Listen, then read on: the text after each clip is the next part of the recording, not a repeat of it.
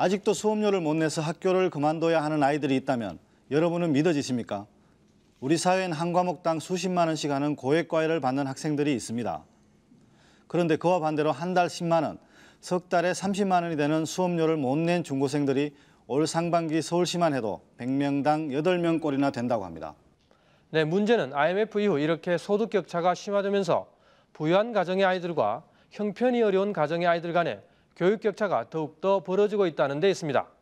일선 교사들은 가난한 집에 태어나도 자기가 열심히만 하면 공부를 잘할 수 있다는 말은 이미 옛말이 됐다고 합니다. 먼저 수업료조차도 내기 어려운 아이들의 딱한 사연을 알아봤습니다.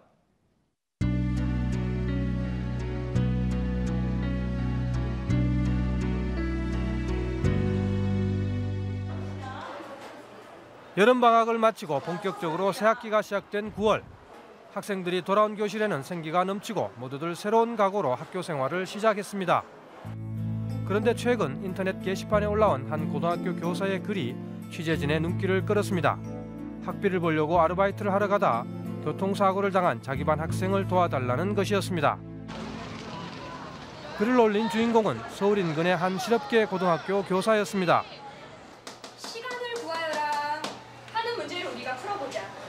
정문희 선생님은 주어진 2학년 담임을 맡고 있습니다. 가정 형편이 어려운 학생들이 많은 실업계 학교.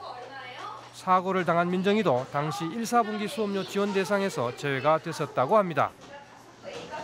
사고 후 치료 때문에 휴학을 신청했지만 수업료 미납으로 민정이는 결국 자퇴를 할 수밖에 없었습니다. 어머니한테 다시 연락을 드려서 어머니 공납금을 내셔야지 휴학 처리가 된다고 하는데 안 내셨더라고요. 이랬더니 어머니께서는 낸 걸로 알고 계시는 거예요. 민정이가 엄마가 걱정하실까봐 그 얘기 학교에서는 학비 감면 받는다고 얘기를 하고 본인이 아르바이트를 해서 낼 생각이었나 보다고 하시면서 막 우시더라고요. 교통사고를 당한 지 5개월, 민정이는 아직도 병원에 입원 중입니다. 요구르트 배달로 생계를 꾸리던 엄마는 병실을 지키느라 그 일도 그만둘 수밖에 없었습니다. 딸이 가정 형편 때문에 사고를 당한 것 같아 엄마는 마음이 점여온다고 했습니다. 멀면 내 가슴이 더 아파.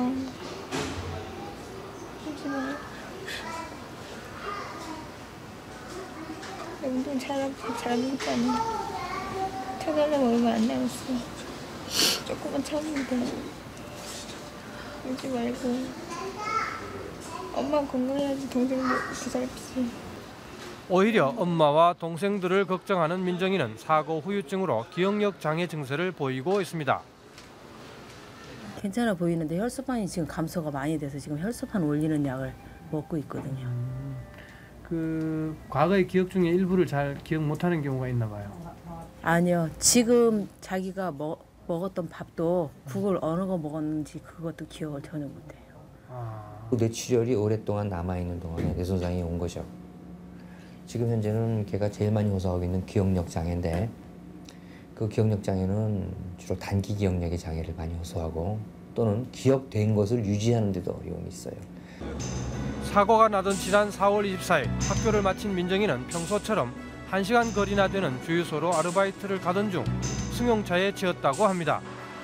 학교를 마치자마자 밤늦게까지 또 휴일까지 일해서 버는 돈이 한 달에 30만 원 정도. 그래도 민정이는 빠지는 날이 없었다고 합니다. 열심히 했어요. 그, 저기, 천, 뭐, 휴일날, 빨간 날 같은 경우는 자기 일찍 나올 테니까 좀 해달라고. 남들처럼 뭐 농땡이 피우지도 않고, 그리고 좀 어떻게 보면 이런 데서 일하다 보니까 좀 뭐, 어린 나이에 예, 저희가 많이 주의를 시키지만 이게 좀 흡연 같은 거 하는 애들이 반 정도 돼요. 근데 이제 거기에 올리지 않고 자기 나름대로 책을 좋아하더라고요. 책. 어, 책을 많이 보더라고요. 제 또래 아이들보다 민정이를 어른스럽게 만든 것은 가정 형편이었습니다.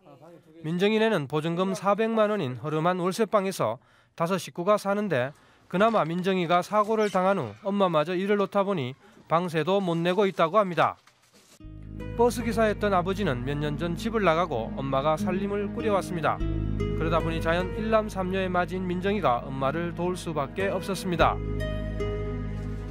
주유소 일을 마치고 민정이가 집에 돌아오는 시간은 밤 11시. 몸도 피곤하고 변변한 책상 하나 없지만 민정이는 공부도 열심히 했다고 합니다. 민정이가 공부할 시간이 있었나요, 그래? 밤에 이제 갔다 와서 한 2시까지 아르바이트 갔다 와서 두 시간 공부를 해요. 예, 책상에 앉아갖고. 여기 동생들 자고 하는데 예. 아. 시험 볼 때는 그렇게 하고 있었어요. 사고가 나기 전까지는 아무리 아르바이트로 몸이 피곤해도 결석 한 번, 지각 한번 하지 않은 전형적인 모범생이었습니다. 특히 민정이는 글짓기에도 뛰어난 재주가 있어서 각종 대회에 출전해 상을 타는 등 두각을 나타냈다고 합니다. 민정이가 굉장히 차분하고 똑똑해서 어, 그 대외로 어, 글짓기 같은 부분도 그 대회를 나가면 꼭 상을 타오고 그러는 아이였어요. 공부도 음, 나름대로 굉장히 그 아르바이트 때문에 영향을 많이 받는데도 공부도 나름대로 굉장히 열심히 했고요. 민정이는 병실에서도 일기를 쓰고 있습니다. 대학에 진학해 문학을 전공하고 싶었던 민정이 실업계 학교를 택한 것도 가정 형편 때문이었습니다. 처음부터 실업계 가려고 했던 건 아닌데요. 등록금 문제도 있었고요. 엄마 힘들까 봐. 그래서 그리고 무조건 인문계 간다 그래서 대학 갈 수 있는 건 아니잖아요. 그래서 나중에라도 제가 잘만 하면은 대학 갈 수는 있는 거니까 그래가지고 그냥 갔어요 실업계를. 그나마 교통사고를 당하면서 병원비에 엄마까지 일을 할 수 없게 돼 이제는 그 소박한 꿈마저도 좀 더 멀어진 듯 보였습니다. 우선 실업계니까요. 정보산업고등학교라 보니까 이제 자격증 많이 따가지고 자격증 많이 따고 이렇게 평소 시, 이게 스- 그 행동 같은 게 좋, 좋게 나와가지고 공부도 열심히 하고 그래가지고 대학교 꼭 가야겠다 생각했어요. 그게 교통사고 나서 많이 이제 계획이 어그러졌어, 그렇죠? 네. 생각하면 가슴이 좀 아프겠네. 굉장히 그 가슴 아픈데요. 엄마한테 제일 미안해. 학비라도 부담 주지 않고 벌어버려다 오히려 엄마한테 짐이 돼 미안하다는 민정이. 그래도 절망한 적은 없다고 합니다. 공부도 열심히 하고 아르바이트는 다시 또 엄마는 안 시키신다 그러는데요. 아르바이트는 제가 다시 또 하고 싶어요. 어렵다고 절망하거나 실망한 적은 없어요. 없어요. 그 왜 너무 형편이 어려서 나는 뭐왜 괴롭거나 이럴 때도 있을 텐데. 아니 가끔 그냥 준비물이나 뭐 등록금 같은 거요. 그런 거 못 가져갈 때 가끔 그랬는데요. 아니 그렇게 막 슬프다 막 그렇게 생각은 안 했어요. 가난 때문에 학교마저 자퇴해야 했던 민정이는 앞으로도 1년 정도는 치료를 더 받아야 합니다.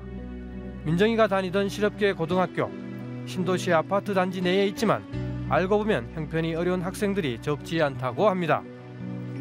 이것은 최근 국정감사에 제출하기 위해 뽑은 자료입니다. 면제를 받는 학생들을 제외하고도 지난 6월 30일로 마감된 1, 2분기 수업료를 아직까지 못 내고 있는 학생이 무려 209명이나 됩니다. 지난 8월 25일까지 내야 하는 3, 4분기 수업료를 못 낸 학생들도 510명이나 돼 전체 학생 수의 무려 35%에 달하고 있습니다. 뭐 비닐하우스 같은 곳에 그냥 싱크대만 가져다 놓고 그런 곳에서 생활하는 학생들도 있고요. 음, 그리고 판자촌이나 그렇게 비 새는 곳이나 이런 곳에 사는 아이들도 있고 음, 좀 어려운 아이들이 굉장히 많습니다. 작년 저희 반 학생 같은 경우에는 차비가 없어서 학교를 못 오는 경우도 있었습니다. 어머니께서 우시면서 전화를 하셨거든요. 오늘은 차비가 없어서 못 보내겠다고 그렇게까지 말씀하시는 분도 있었습니다. 주로 가정 형편이 어려운 학생들이 많이 오는 실업계 고등학교들은 어디나 사정이 비슷해서 수업료 미납 문제가 고민거리라고 합니다. 법적으로는 그게 납입금을 안 내면 등교 정지시켜야 돼 있어요 법적으로.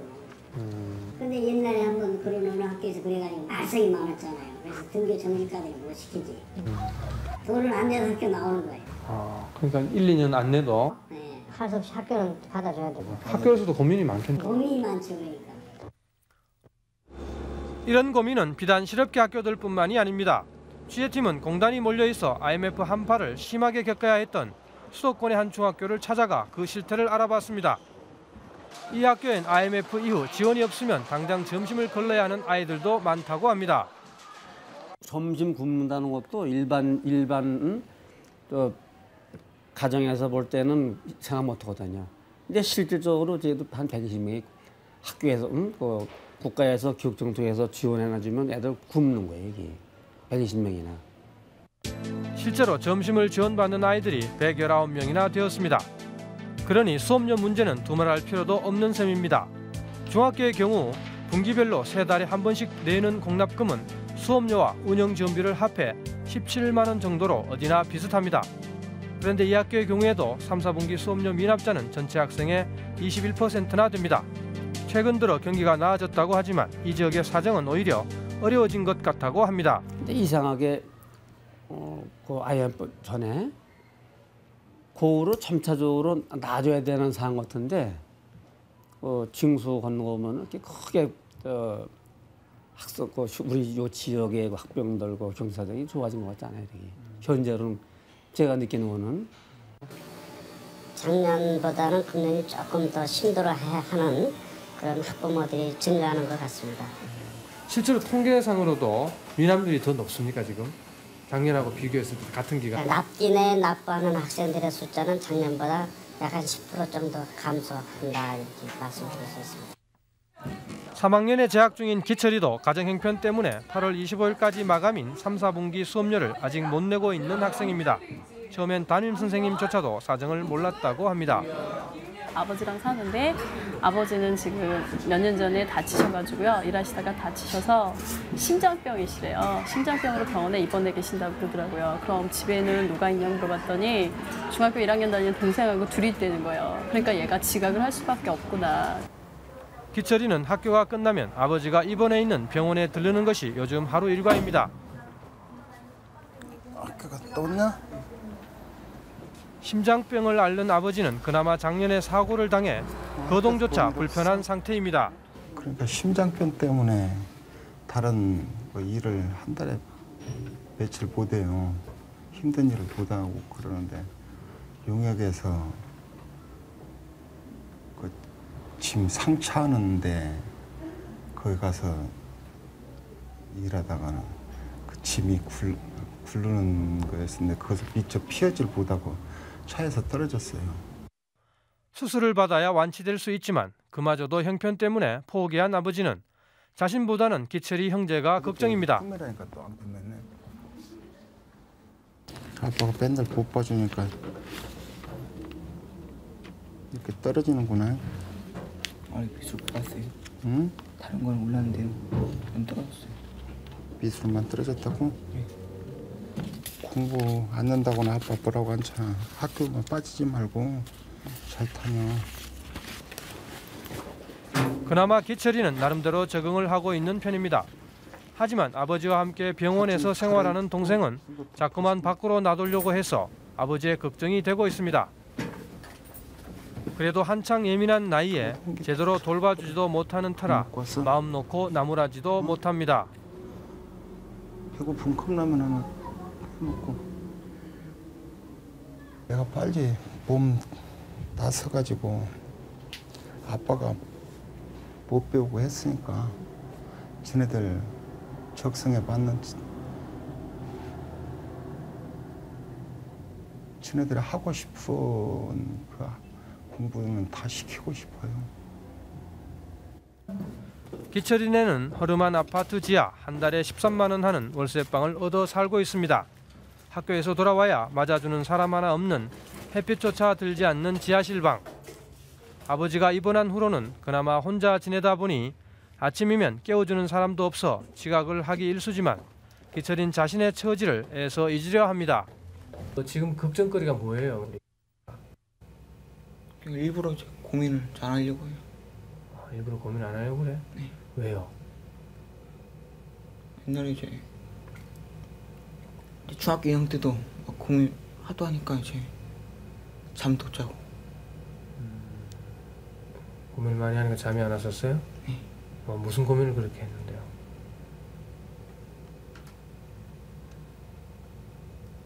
그냥 옛날 생각하고 그냥 저 커서 이제 제 모습을 생각해보고 그래요. 커서 제 모습 생각해보고 불과 몇 년 전까지만 해도 부자라는 소리를 들을 정도로 유복한 집에서 자라던 기철이 아버지의 사업 실패로 갑자기 들이닥친 상황들이 더 견디기 힘들었다고 합니다. 어떨 때가 슬퍼요? 그냥 옛날 모습 생각하고 그래요. 옛날에는 뭐 괜찮게 살았던 그때 생각하는 거죠? 그때 어, 어떤 때가 가장 생각이 나요? 그 이제 건물도 많고 이제 아빠 건물도 있고 할 때 그리고 그때는 행복하게 살았겠네. 어, 그때 생각하면 눈물 막 나요. 옛날 이야기를 하다가 기철인 끝내 눈물을 떨구었습니다. 한창 갖고 싶은 것이 많은 나이. 집안 형편 때문에 말도 꺼내지 못했지만 기철이에겐 꼭 하나 갖고 싶은 것이 있었습니다. 뭐가 좀 갖고 싶은 건 뭐 없어요?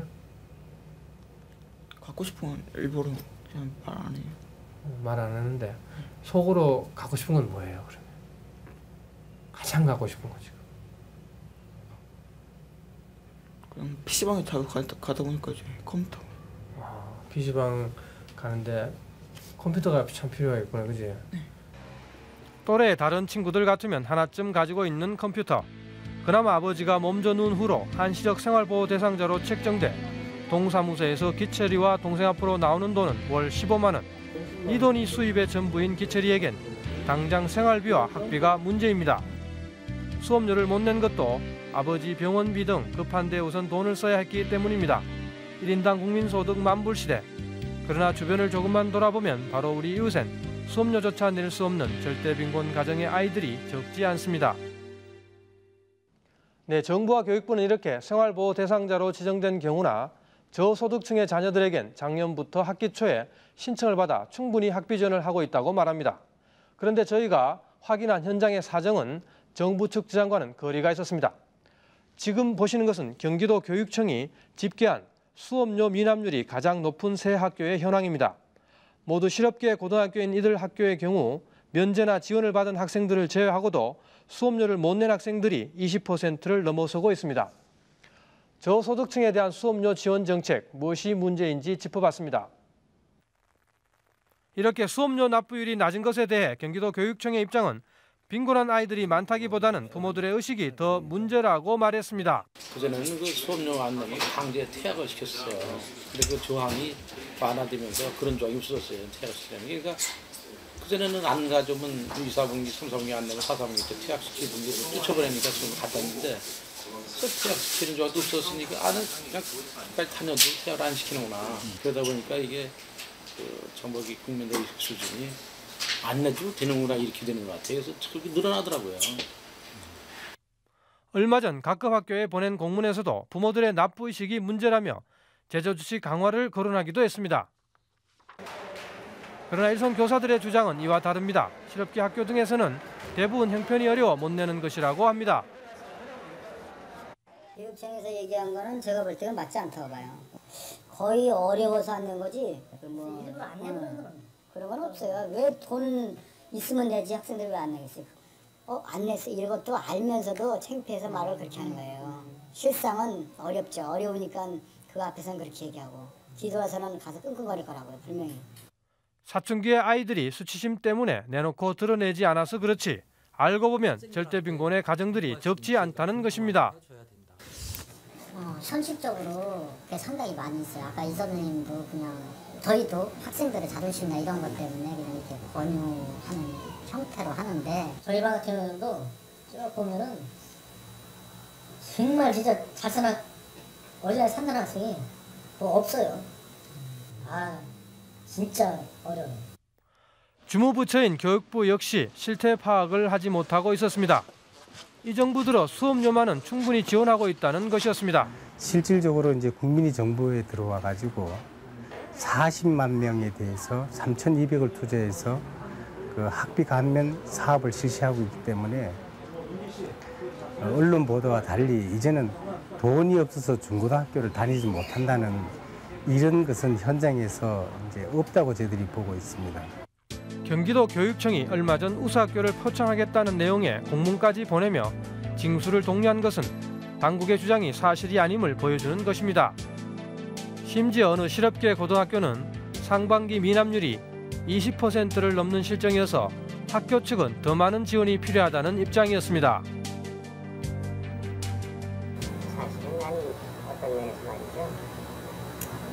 우리 학교 입장에서 보면 조금 뭐 수혜품이 좀더 더 주어졌으면 하는 걸 바라죠. 우리 학교의 경우 인문학교의 경우는 달라요. 인문학교는 이렇게 미나 미나 놓칠 겁니다. 그래서. 우리 학교는 아무래도 아이들이 좀, 좀 어려운 아이들이 애초부터 입학한 어려운 아이들이 많이 오고 15%를 아마 좀 다른 학교에서는 채우기가 좀 어려울 겁니다. 그런 거기는 그 받는지 조건이 있기 때문에 뭐, 뭐뭐월 소득이 얼마고 그 다음 재산이 얼마고 이런 조건이 대략적으로 이- 나와 있기 때문에 그런 애들 다 합쳐도 15% 넣기가 좀 보통 학교에서는 좀 어려워요. 실업계의 경우 15% 선을 지원하고 있지만 이것도 턱없이 부족해 아이들이 마음의 상처를 받는 일도 적지 않다고 합니다. 문제는 애들이 꽤 있어요. 그냥 느끼는 애들 제일 많아요. 선생님들이 하긴 하세요. 그러니까 다 1년에 네번 내는데 뭐몇 개는 누가 안 냈으니까 빨리 내라. 항상 뭐 말이 있으면 항상 확인하시고 그러니까 그러면 거의 누구는 안 냈다. 거의 저희가 알 수 있어요. 돈이 없어서 안 있는데요. 그거 안 이렇게 학교 교육이 칠판에다가요. 다 적어놓고요. 적어놓고, 적어놓고서 애들 이렇게 다 불러주고요. 그러니까 계속 불러낼 때까지 계속 불러서 이렇게 내라고 말해요. 반장한테요. 그러니까 솔직히 그런 거 비밀로 해줄 수도 있는데 반장한테 말을 반장 시켜서 걔네 데리고 오라고 이렇게 해서 말해요. 계속 돈 내라고. 칠판에까지 적어놓고. 네, 그러면 그거 보면 애들이 창피하잖아요. 솔직히 그러잖아요. 근데 다 적어놔요. 선생님 계속 돈을 왜 안 내냐고 막 그러니까요. 막 그 소리 듣기 싫어서 학교 안 오고 그런 애 있었어요. 선생님은 뭐 어떤 식으로 얘기를 해요? 빨리 내라고 막. 또 학기 초에 학교마다 일정한 기준을 정해서 학비 지원 신청서를 받기 때문에 사춘기의 아이들이 창피해서 지원을 안 하는 경우도 있고 담임이 미쳐 파악을 못하면 누락되는 경우도 있다고 합니다. 작년에 저희 학교 같은 경우도 교육청에서 그 학비 보조 더 어려운 학생들 학비 보조를 해준다고 교육청이 내려왔어요. 근데 그 3월 제 기억으로는 거의 3월 15일인가가 거의 마감이었었는데 사실 3월 2일 날 개학식 하고서 3월 15일까지 기간이라면 담임이 학생들 파악이 전혀 안 된 상태라고. 그 상태에서 그 아이들 자존심도 있죠. 담임은 파악도 안 돼 있죠. 그 상태에서 그거는 해서 내야 되죠. 하나라도 도움을 주려면. 그러니까 결과론적으로 공개를 하게 되고 가정교육은 어려 자기가 가정교육 어렵다고 생각하는 사람 와라. 거기 서류도 이제 좀 복잡하거든요. 이것저것. 또 서류가 하나라도 미비가 되면은 그게 또 탈락하더라고요. 그래서 이제 이거 많이 하는 학생들이 했는데 진짜 어려운 학생은 자존심이 있고 좀 그런 아이들은 결과론적으로 빠져버리고 한편 교육기본법은 초등학교와 중학교를 의무교육으로 규정해놓고도 중학교는 국가 재정 여건을 고려해 실시한다는 유보 조항을 두고 있습니다. 전문가들은 교육 투자는 재정 여건보다는 의지의 문제라고 주장합니다. 98년 이후에 IMF 이후에 그, 그 부실금융을 살린다고 공적 자금을 64조 원이나 투자했습니다. 그럼에도 불구하고 그 은행들이 제대로 그러면 건실한 어, 구조를 갖게 되냐면 그렇지 않습니다. 거의 회수율이 3분의 1 정도밖에 안 된다고 들었습니다. 그런데 실제로 그런 부실기업, 부실금융 살리는 데는 그렇게 수십조 원을 쏟아부으면서 실제로 전 국민의 복지이면서 전 국민을 수준을 높일 수 있는 이런 교육에다가는 공적 자금 투입 안 합니다. 왜? 회수되지 않는다고 생각하는 겁니다. 이거는 금방 돈이 빠져나오지 않는다고 생각하는데 이것이 철학의 부재라고 보는 거죠. 우리보다 훨씬 가난한 나라들도 9년 내지 10년의 의무 무상 교육을 다 시행하고 있습니다. 우리가 뭐 자가용 보유 대수가 얼마다 무슨 김포 비행장이 좁아서 지금 영종도 어, 국제 비행장을 놓는다 이런 수준입니다. 이런 나라가 돈이 없어서 중학교까지 헌법이 정한 어, 중학교 의무 교육을 못한다. 이것은 사실은 교육에 대한 의지 부족이지 다른 말로 변명할 수가 없습니다. 그것은 시급히 시행해야 됩니다. 네, 실제로 중학교 의무 교육을 실시하는 데 드는 추가 비용이 채 1조 원을 넘지 않는다고 합니다. 국가의 미래에 교육이 얼마나 중요한지를 생각한다면 중학교 의무 교육 최대한 앞당겨야 할 것으로 보입니다. 지난 시절 교육은 우리에게 가난을 탈출할 수 있는 유일한 수단이자 희망이었습니다. 그러나 이제 가난한 집 아이들이 공부를 잘한다는 말은 듣기 힘들게 됐다고 합니다. 학교 중심의 공교육이 무너지고 사교육에 대한 의존도가 높아지면서 그 부모의 경제적 능력과 교육에 대한 투자 정도가 아이들의 우열을 결정한다고 해도 결코 과언이 아닙니다. 부모의 소득 격차에 따라 날로 심화되고 있는 교육 불평등의 실태를 취재했습니다. 모든 인간은 평등한 교육을 받을 권리가 있습니다. 하지만 교육 불평등은 태어나는 순간부터 시작됩니다. 어떤 부모 밑에서 어떤 가정 환경에서 태어나느냐에 따라 아이들은 각기 다른 교육 환경에서 자라게 됩니다. 우리는 지금 초등학교부터 공교육을 하고 있지만은 사실은 이미 초등학교에 들어 왔, 왔을 때그 아이들은 그 이전에 벌써 한 6년간에 걸쳐서 각기 다른 수준의 기초적인 학습 능력을 발전시켜 가지고 옵니다. 그러니까 유복한 아이들은 보다 높은 기초 학습 능력을 가지고 오고 그렇지 않은 아이들은 그걸 못 가지고 옵니다. 결국 학교의 출발부터 차이가 날 수밖에 없죠. 초등학교부터는 가정 환경에 따른 교육 수준의 차이가 잘 드러납니다. 취재팀은 중산층 이상이 밀집한 서울 강남의 한 초등학교와 소득 수준이 상대적으로 낮은 강북의 한 초등학교를 직접 비교해 보기로 했습니다. 먼저 강남에서도 교육열이 높은 부모들이 지원해 입학 때부터 경쟁이 치열하다는 한 초등학교에 가서 6학년 학생들을 대상으로 설문조사를 해봤습니다. 설문 내용은 부모의 직업, 한 달 과외 비용, 그리고 본인의 해외 연수 경험 등이었습니다. 해외 연수를 다녀오신 분. 그러니까 나라 밖에 한 번이라도 갔다 온 사람, 우리나라 밖에. 제주도 말고. 그러면 한번 내려보세요. 아버지가 대학교를 나오신 분 한번 손 들어보세요. 아버지가. 이제 초등학생인데도 거의 대부분의 학생들이 해외 연수를 다녀왔다고 손을 들었습니다. 다소 경제적으로 곤란한 아이 가정의 아이들이 전혀 없는 건 아니지만 대체적으로 경제적으로 여유가 있는 풍요한 집 아이들이 많이 다닌다고 봐야 될 겁니다. 실제로 설문 결과 부모의 직업은 대부분 고소득의 전문직이었고 아이들에 대한 교육비 투자 역시 높은 것으로 나타났습니다. 이들은 모두가 한 가지 이상 개인 교습을 받고 있었는데 한 달에 사교육비로 30만 원 이상, 100만 원 이하를 쓴다는 아이들이 59%나 되었고 85%가 해외 연수 경험이 있었습니다. 이렇게 접하는 세계가 많다 보니 장래 희망도 대부분 전문직이었고 상당히 구체적이었습니다. 변호사요. 왜 변호사가 되고 싶은지? 음, 저희 아빠가 변호사시거든요. 근데 하는 일이 부러워요. 미술을 열심히 해서 이렇게 화가가 되고 싶습니다. 소아과 의사 되고 싶어요. 컴퓨터 프로그래머요. 웹 디자이너. 캐릭터. 이곳 아이들은 학교가 끝나면 부모가 마련해준 환경 속에서 저마다 자신의 꿈을 이루기 위해 학과목 공부나 특기 교육을 받는다고 합니다. 취재팀은 이번엔 서민층이 몰려있는 서울 외곽의 한 초등학교에 가서 5학년 학생들을 대상으로 똑같은 내용의 설문조사와 함께 똑같은 질문을 해봤습니다. 외국에 가가지고 영어를 배운다거나 이런 적이 있었던 사람. 아퍼의 학교와는 대조적으로 해외에 나가본 아이가 거의 없었는데 장래 희망도 비교적 평범한 직업들이었습니다. 나중에 커가지고 뭐가 되고 싶다? 경찰.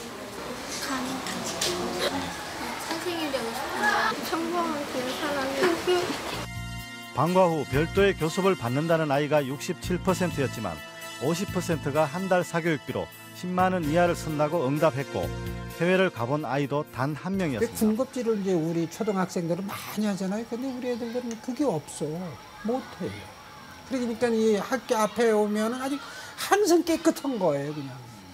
그 군것질은 그 껍질 같은 거 까서 버리잖아요. 우리 그- 그 갖다 놓는 애들이 별로 있어요. 그런데 다 버리는 거. 뭐 항상 지나다니게 봐도 깨끗해. 깨끗한 이유가 군것질을 예. 못하기 때문에. 그렇죠.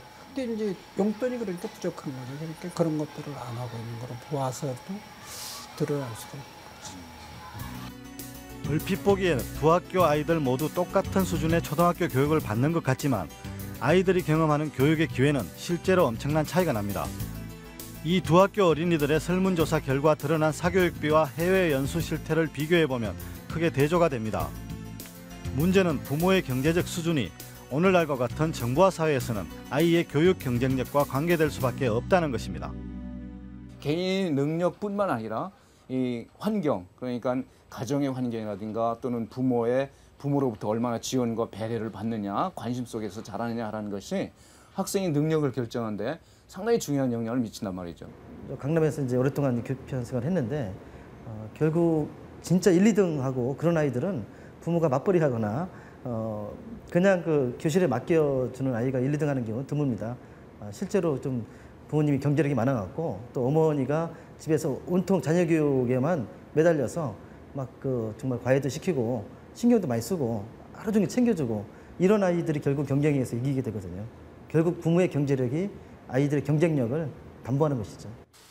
비교적 좋은 가정 환경에서 태어난 아이와 그렇지 못한 아이, 그들의 가정 환경을 한번 확인해 봤습니다. 설문 대상이었던 서울 외곽 초등학교 5학년인 지혜. 막노동을 하는 아빠가 일을 나가고 나면 학교에서 돌아온 지혜는 서둘러 엄마에게 밥상을 차려줍니다.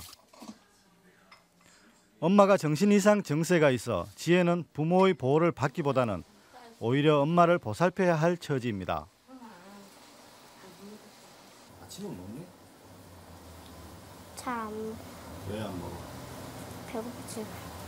땅따리기도 끼니조차 챙겨주는 사람이 없는 지혜는 무엇보다 엄마 때문에 친구들조차 마음대로 집에 데려올 수 없는 자신의 처지가 싫다고 합니다. 엄마가 이상하게 할 때. 그때 싫기도 하고 불쌍해 보이기도 하고. 열평 남짓 임대 아파트에서 집안일과 학교 공부를 같이 해야 하는 지혜. 부모가 있긴 하지만 변변한 참고서 하나 사주지 못하는 환경에서 공부를 잘할 수는 없어 보였습니다. 참고서는 한 권도 안 썼어? 한번 봐봐라. 참고서는 어디 있나 한번 보자. 5학년 들어서는 참고서를 몇 권 샀어? 처음 뵈서인데요. 결국 이런 식으로 부모들의 가난과 불행은 지혜가 받아야 할 교육의 기회를 앗아감으로써 고스란히 지혜에게 대물림되고 있었습니다.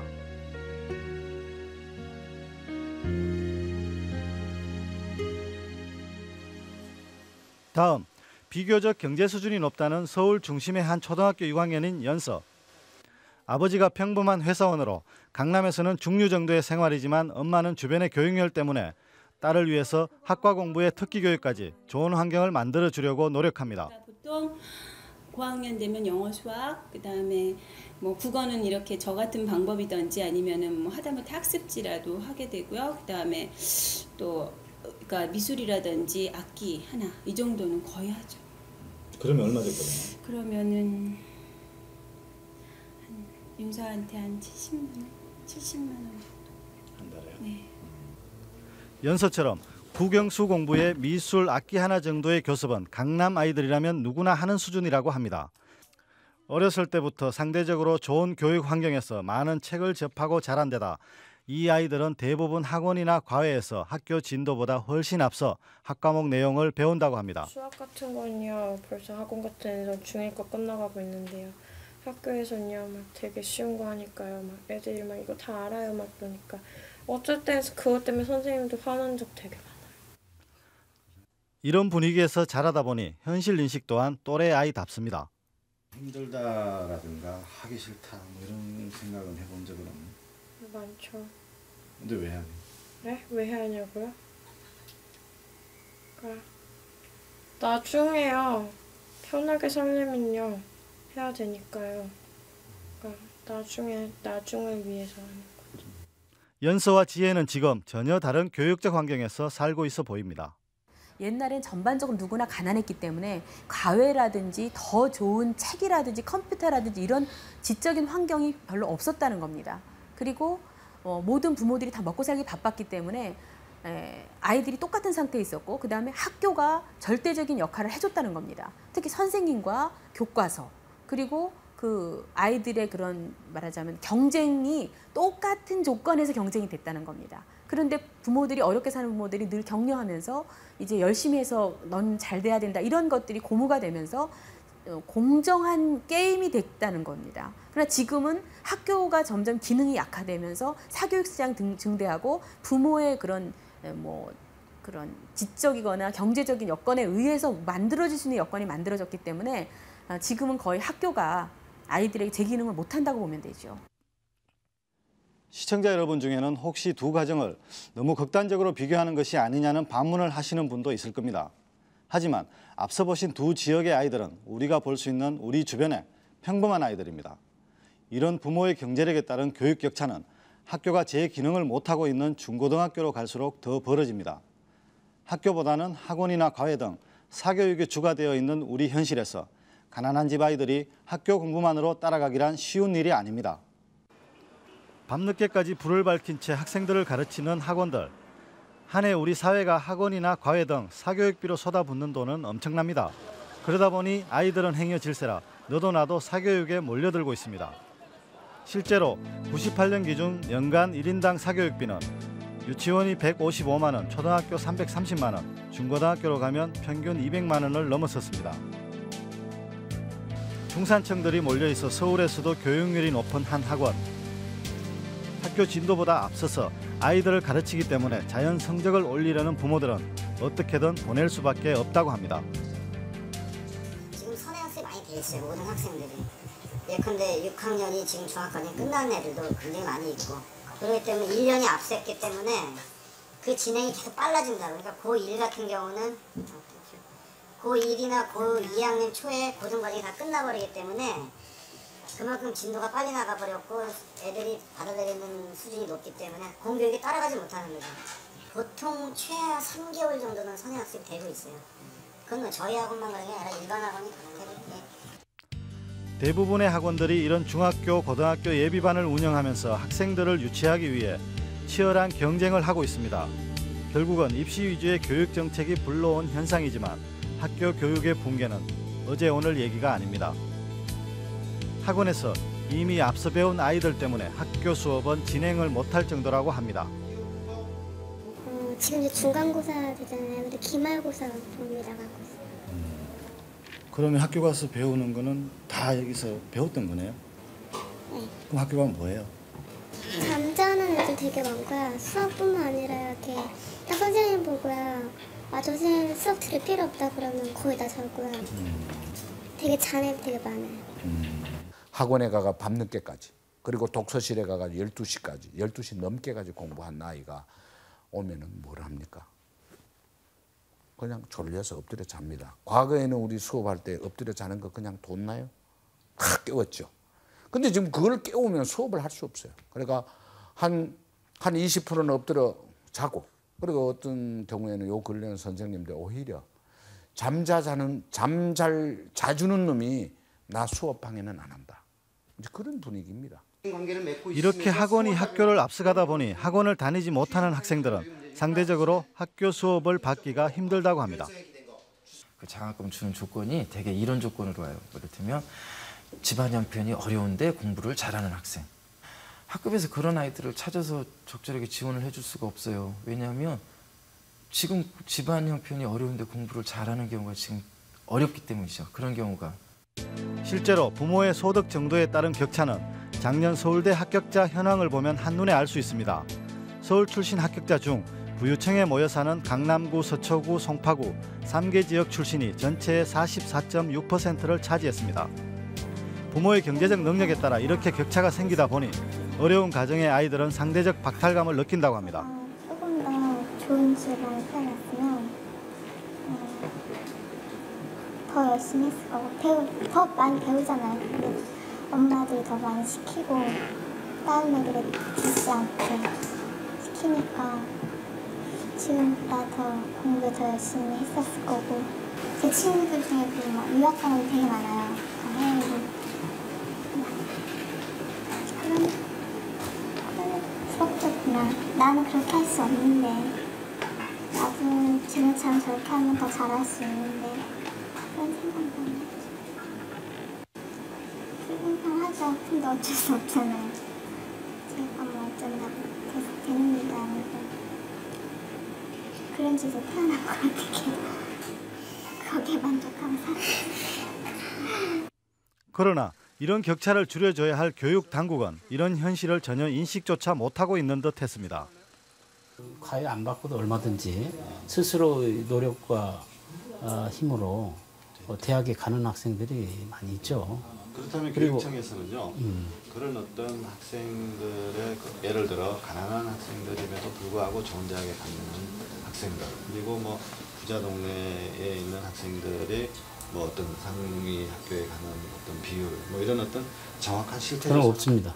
뭐 한 번도 안 하셨나요? 네. 그런 걸 안 하고서 어떻게 정확한 교육 정책을 세울 수가 있나요?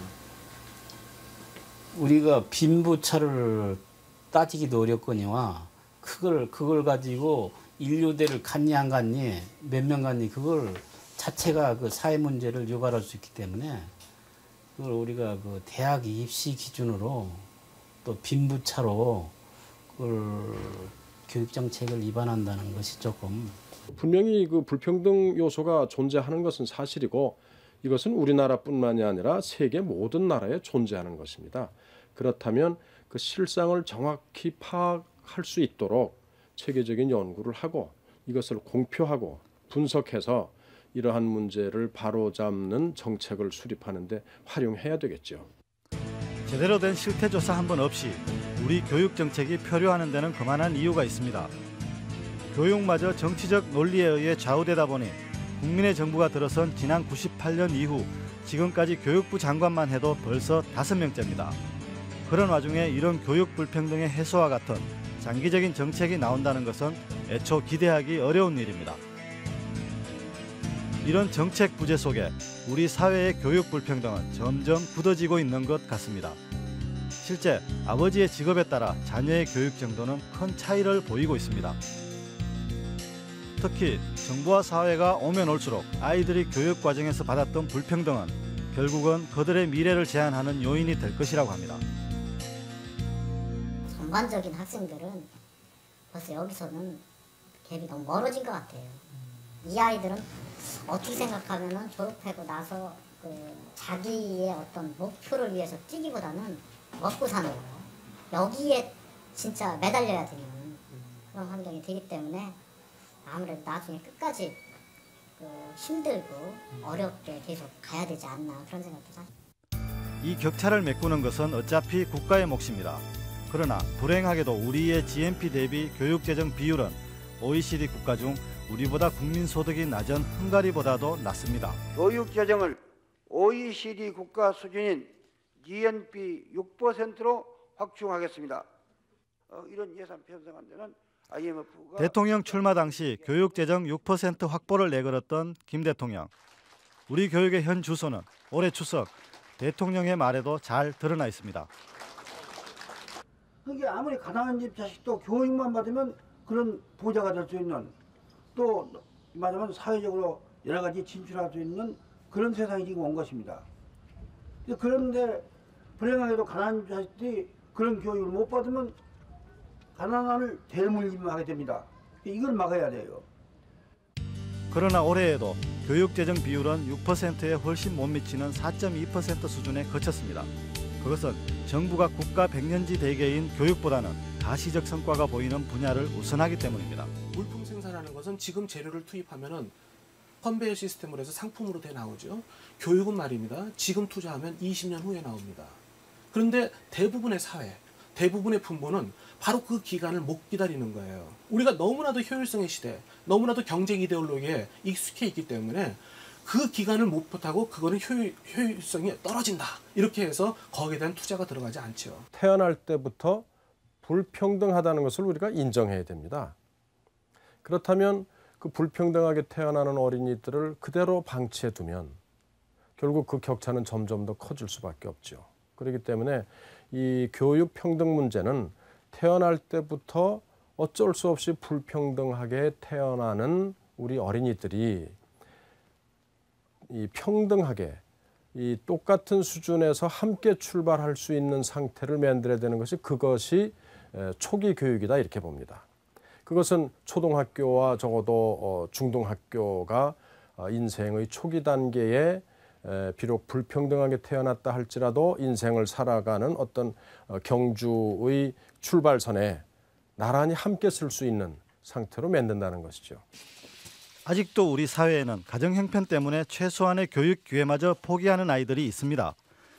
올해 16살인 진기는 2년 전인 중학교 2학년 때 학교를 그만두었습니다. 아침에 보면 애들이 교복 입고 돌아다녀요. 그리고? 어, 학교에서 어디 놀러 가고 막 그런 거 애들한테 다른 아이 애들한테요 그런 소리 들으면요 그때 학교 다니고 싶어요. 단칸방에서 아버지와 누나, 동생과 함께 사는 진기에겐 당장 끼니가 걱정이었는데 그나마 차비도 없고 더 이상 수업료 낼 돈도 없어 자퇴를 했다고 합니다. 학교가 멀면요 그때 그 전에 학교 좀 그래도 걸어가기가 좀 걸어가면 30분 정도 걸렸거든요. 걸어가기 걸어가는데 그 버스 타고 가고 싶어갖고 그게 제일 힘들어요. 배고프는데 가기가 힘들어갖고 이게 네가 학교 다닐 때 썼던 가방이니? 예. 벽에는 학교 다닐 때 가지고 다니던 책가방이 아직 그대로 걸려 있습니다. 지금 이 가방 속에는 책 대신 작업복이 들어 있습니다. 가난 때문에 학교를 그만두긴 했지만 지금은 후회하고 있다고 합니다. 여기 이사 왔거든요. 최근요 이사하면서 짐 다 버렸어요. 그냥. 책을 다 버려버렸어? 네. 차라리 이렇게 살 바에 그냥 운동 아니 돈을 벌어갖고 그냥 돈이나 모아갖고 그냥 부자나 되고 싶다고. 중학교 때부터 계속 그런 여태까지 그런 생각만 하고 살았어요. 차라리 지금은 근데 그게 아니에요. 학교를 안 다니까요. 친구들도 없고 아는 친구들밖에 못, 못 만나고 친구들도 다 학교 가면은 나 혼자 아침에 심심해서 놀고 그냥 집에서 있고 그냥 지금은 학교 다니고 싶어요 그냥 지금이야 그냥 방학 때나 그냥 돈 벌고 지금 그냥 학교 다니고 싶어요. 계속 학교에 다녔다면 고등학교 1학년이 되었을 진기. 그러나 학교 울타리를 벗어난 이 또래 아이들이 할 수 있는 일이라곤 처지가 비슷한 친구들끼리 어울려 밤거리를 배회하는 일뿐입니다. 제도권 교육에서 밀려난 이들의 앞에는 아무런 희망도 계획도 없는 불투명한 미래만이 가로놓여 있습니다. 결국 가난 때문에 최소한의 교육을 받을 기회조차 잃어버린 이 아이들의 문제가 머지않아 반드시 우리 사회 전체의 부담과 비용으로 돌아올 것이라는 점입니다. 자본주의 사회에서 부모의 능력에 따른 교육 불평등은 어느 정도 필연적이라고 보여집니다. 그러나 가난한 집에 태어났다는 이유 하나만으로 최소한의 교육 기회조차 가질 수 없다면 이는 분명 우리가 지향해야 할 사회는 아닙니다. 네, 물론 이런 교육 불평등의 격차를 줄이는 일은 일차적으로 국가의 몫입니다. 그러나 귀여운 내 자식이 미래에 행복해지기를 바란다면 우리 사회의 모든 아이들이 제대로 교육받고 건실하게 자라야 가능하다는 사실을 되새길 필요가 있습니다. 그런 의미에서도 이 교육 불평등 문제는 우리 모두가 함께 머리를 맞대고 고민해야 할 가장 시급한 현안인 듯 합니다. 늦은 밤까지 시청해 주신 시청자 여러분 감사합니다. 오늘 PD수첩 여기서 마치겠습니다. 안녕하세요. PD수첩 오승훈입니다. 어, 더 많은 영상을 보고 싶으시다면 구독과 추천 영상을 확인해 보시기 바랍니다.